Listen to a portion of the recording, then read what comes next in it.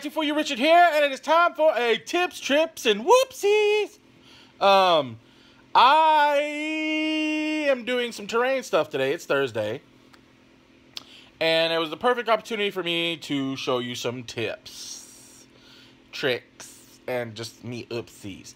Now, these aren't again. This this is not my personal trick. I didn't go, ooh, look what I learned or I discovered. I'm smart.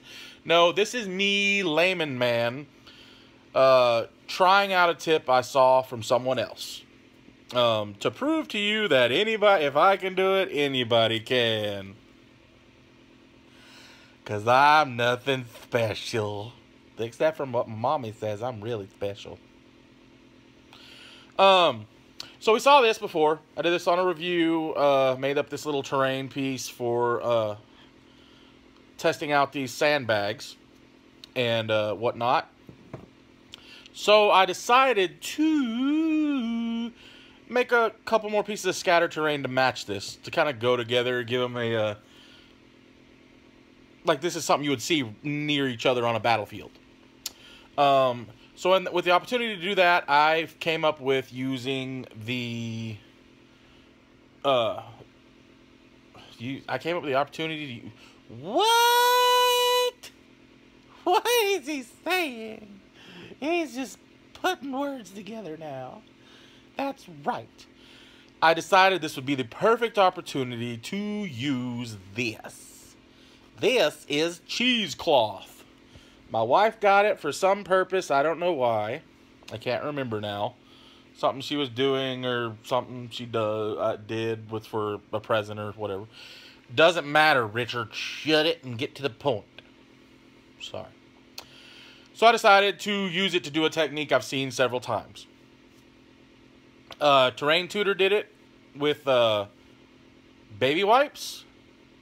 It's a PVA baby wipe technique to make like he used baby wipes are perfect for canvas and stuff. Um, I saw it on uh, Facebook a couple times. This one cat did it. I can't remember his name. I mean, it's like Phil, Paul, Peter, Petunia. It started with a P, and he does some amazing terrain stuff. I think he's in the terrain tutor group. But anyway, ugh, he did the same thing using paper towels. So I decided to do it with cheesecloth and see how it turned out. So let's go table down and see how it turns out and hope I don't screw it all to pieces. Table down time, peoples. Oh, before we do that, I'm going to do, I will do, do terrain. More terrain will be coming. I'm going to do little bits and pieces. I'm finally going to start that giant landing pad out of the clock. I'm going to start that because I have the, my LEDs should show up. I was able, I sold a few more comics and got me some little bit of money to pick me up a LED kit. So we're going to play around with some electricity. I hate that stuff. I hate it. It's bad. It hurts. It's my eye twitch. But that's later. Let's get to this. Go down to the table right now. See you in a minute. guys, here we are, table down. Um, let's step this out of the way real quick. What we have here is, you remember this terrain piece when I did the review of these um, little sandbag dealies? So what I wanted to do is more scatter terrain to go with it. Um, so I just got this one little piece here. And then there's that barrel that I did my rust technique on and my chipping and weathering stuff. Um, added, I did this first, this little piece, and I felt like I needed more, and I wanted to tie everything in together. So I took the barrel that I had, hot glued it down, added my sand around it, which is still a little moist. That's why um, I haven't primed it or anything yet. But uh, added that there, put the sand around it to kind of bring it in and tie it into the base really good. And then threw on the last little sandbag I had because I used the others somewhere else. Um, so yeah, once that's dry, I'll prime this. I'll hand prime this, like paint it on with the brush. and then go back over it and paint it all black so that way I can put it all in. But we're not really using this today. It's more for this little thing I made. Um, hard to see because it's black, but it's just a little piece of scatter terrain. Got some granny grating on there to kind of bring it in with that. And then um, more sandbags. Missed a little spot in the prime, but these are chopsticks, little chopstick posts. I just cut them down to a certain height and then angled them. Uh, not angled, yeah. Sorry, I have a bit of a the sniffles going on. Uh, allergies. Again, thanks to Texas weather. But yeah, angled them all funny, like they're kind of leaning and stuff from the water that flows up through here. Because with the with the world we're on, of course, the water rises and lowers during the times of the year. So some of these areas would be underwater at points, like a little bit, be slightly flooded. So I wanted to kind of give that effect on these poles, have them kind of leaning over like they started to kind of shift a little bit. But what I'm doing with this, added the sandbags to tie everything in together again. Granny grating, the sand, all the normal stuff, just for a scatter piece. But I have cheesecloth that we got for my wife got for some project a long time ago, and then she gave it to me because she didn't need it.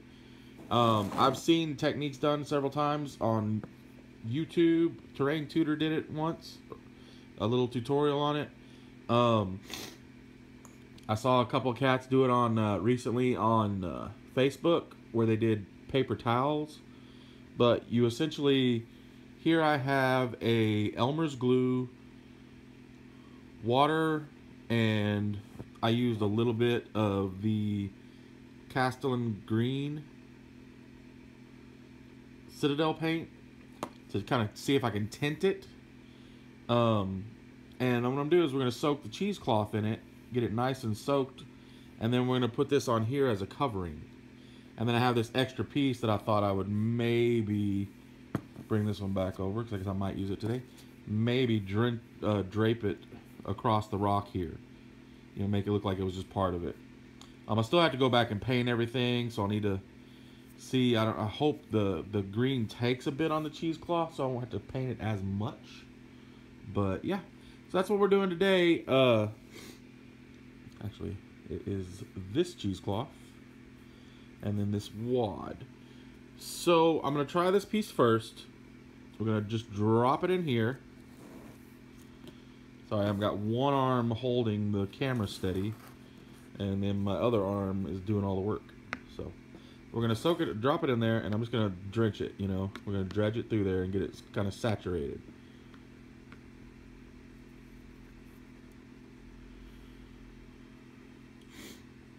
It might be a little too thick, but I'm gonna hold it and let it kind of just run all down and drain. Because you look at the top, see how you can actually see the textures in there. It looks like camo netting. That's what I want.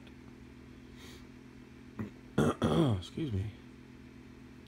If I had some rubber gloves, I would just get in there and pinch it. And kind of pull some of that stuff through, but I really don't want to get all green. Or do I? I'll be like the Incredible Hulk. Hulk smash. There we go. See, look at that. That's good. I like that. That already looks good. Draw my hands off a little bit. Alright, and then what we're going to do is this is I'm going to come in and I'm going to drape it over the rock.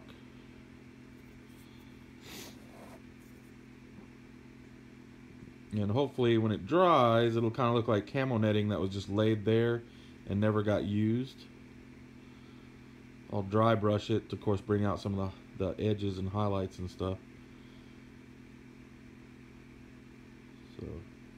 But you can do stuff like this with tanks. Um, get some of this cheesecloth. Because I like cheesecloth because of the pat because the pattern. How it's kind of real just see-through. It looks like a bunch of what it is. A bunch of strings woven together. Um, but you can do stuff like that on tanks. Like the drape across the barrel, wrap the barrel in it. Um, just things like that. You, you see them do on typical... Look at... Uh, best thing, Google it. Google... Uh, tanks, camo netting, things like that, and uh, you'll see some cool effects. So I'm to let that dry, and we're to do this one next. So, and honestly, that's to take a while to dry. So we'll cut away, and then when we come back, you'll get to see the finished product. I really, I'm doing this on Thursday, so I really wish I had started sooner. So that way I could have. Now this is gonna be the hard part. Sorry, I, I stopped my train of thought real quick. Um, because I need this to be stretched out and flat. So I want to make sure it stays that way. And see how that one kind of got all wadded up? I don't want this one to wad up like that. And I want to make sure as much of the green, the dripping is off of here as possible. So, honestly, this is going to be, it. this is definitely going to be interesting to see if this one works out. I'm going to get, I have a paper plate over here that I use for flocking and basing and stuff. So, I'm going to pull this out. Yes, I just shook the excess dust off on the floor. Haha. My wife's gonna kick my butt. What she don't know won't hurt me, will it? Yes, it will. I'm gonna pull this out, running it along the side to kind of get all that excess paint off of it. And I'll probably do it again too.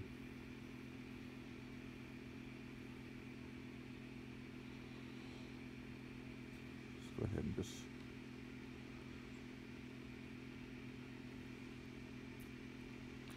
Ooh, it's fun getting messy.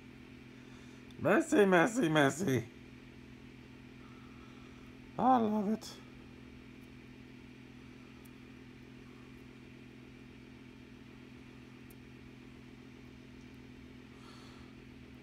I need to get some of my rubber gloves out and just strain it or wring wring it out. so we're gonna set this here, and I am going to stretch it out flat while I get paint everywhere. Luckily, I have a uh, my paint wiping T-shirt next to me. So let's see.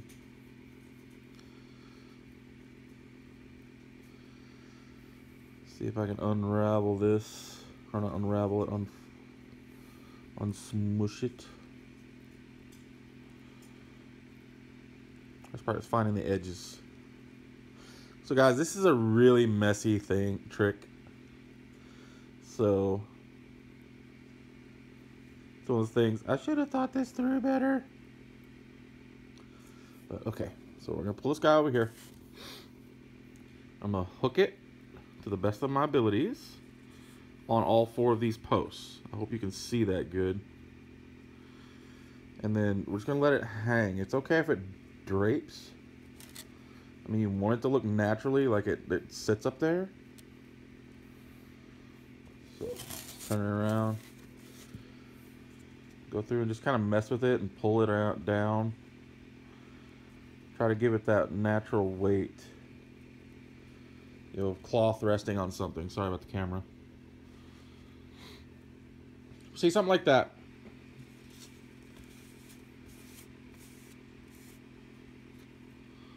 So it gives you like a nice little camo net looking effect.